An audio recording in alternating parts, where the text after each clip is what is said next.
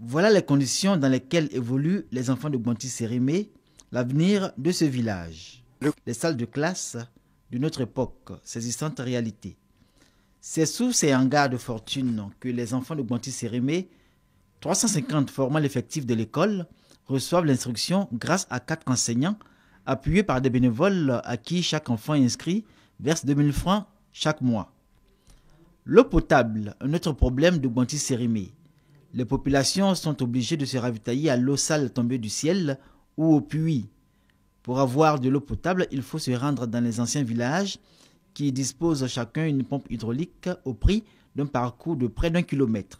Souvent, on se lève à 4 h du matin pour avoir une cuvette d'eau. En tout cas, c'est très dur. Chacune a droit à deux cuvettes d'eau, mais on a toujours des problèmes pour avoir ces deux cuvettes d'eau-là. Il faut aller un peu tôt pour avoir les deux cuvettes. Deux cuvettes là, tu reviens pour retourner encore, il y a du monde. On dit non, le président dit non qu'à venir faire courant. Depuis, ils sont venus planter les poteaux.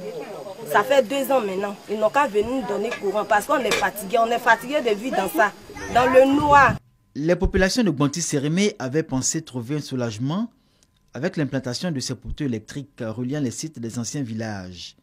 Il y a deux ans que ces ouvrages font partie du décor de Bonti-Sérémé, mais rien n'a véritablement changé. Les populations de Bonti-Sérémé sont toujours dans l'obscurité, comme dans les anciens villages. Pas d'eau dans les robinets du CHE de Divo. Pénible donc pour le personnel d'exercer au mieux son travail. Cette situation perdue depuis des années. Les populations de Divo lancent un vibrant appel aux bonnes volontés aux autorités de la ville afin que la pénurie d'eau à l'hôpital de Divo trouve solution dans un délai raisonnable. Vous convenez avec moi que l'eau est source de vie et aujourd'hui euh, au CHR de Divo c'est une denrée rare. J'ai l'impression que c'est un fétiche, c'est un mauvais gris-gris dont la présence euh, au CHR de Divo euh, va contribuer à ruiner toute l'administration. Et j'en appelle, n'est-ce pas, à l'attention des autorités qui le réagissent. La fait de l'eau ici, là, c'est grave. Tu es malade, tu es à l'hôpital, tu n'as pas l'eau pour te laver, pour boire, donc c'est pas bien. Donc, ils n'ont qu'à essayer de nous aider. C'est impensable, parce que un CHR, je veux dire que c'est ça qui gère toute la région. Et s'il n'y a pas, a pas d'eau, il n'y a pas d'eau potable pour les malades qui y viennent, c'est que vraiment, c'est grave. Donc euh, moi, je vois que les, autorités doivent se, ressaisir et puis régler euh, rapidement ce problème. Le CHR de Divo est situé au cœur de la ville. C'est un centre de référence de la région, mais ce centre hospitalier rencontre d'énormes difficultés dans son fonctionnement. Dans cet hôpital, le plateau technique est défaillant et baigne dans un environnement insalubre. La seule ambulance de l'hôpital ne se porte pas bien. Les différents services du CHE de Divo sont représentés, mais tous ne donnent pas satisfaction aux usagers. Ainsi, la pharmacie de ce centre n'est pas toujours ravitaillée en médicaments de première nécessité. Dix communes d'Abidjan, la ville de San Pedro est malade de sa voirie. San Pedro n'a plus bonne mine. Il faut plusieurs centaines de millions sans doute pour lui refaire une nouvelle santé. Mais là encore, l'on se demande à quel médecin doit-on recourir Au Conseil général, à la mairie ou à l'État de Côte d'Ivoire.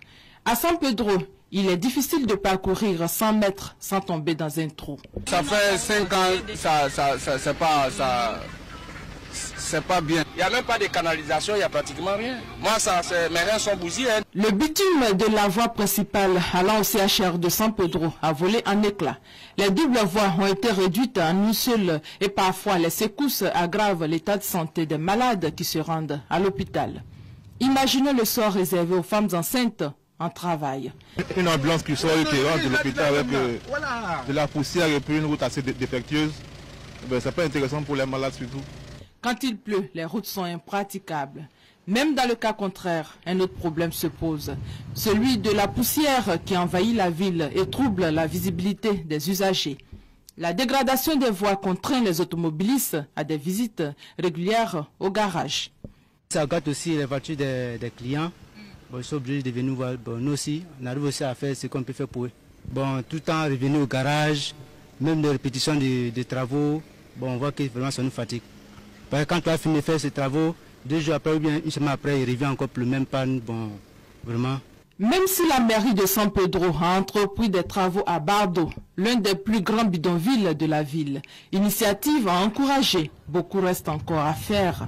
Prendre en compte les préoccupations des populations de San Pedro et des autres villes de la Côte d'Ivoire en rebitumant ou en reprofilant les voies dégradées, ce serait leur offrir un environnement idéal. Malheureusement, ce bonheur n'est que simple utopie.